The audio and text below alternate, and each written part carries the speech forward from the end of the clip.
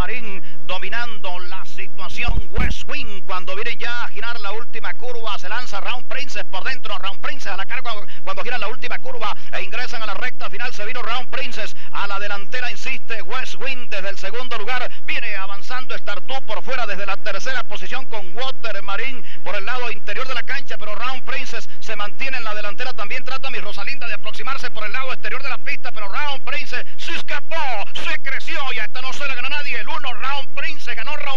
número uno. Segundo, mi Rosalinda. tercera Guapa Marín. Luego, en el cuarto lugar está entrando la yegua Pictu para el quinto West Wing. En el sexto, Star 2. En el séptimo, Capivara. En el octavo, llega Lady Morena. El noveno, para Tonga Noxi. En el décimo, Chepina. Corrieron 10.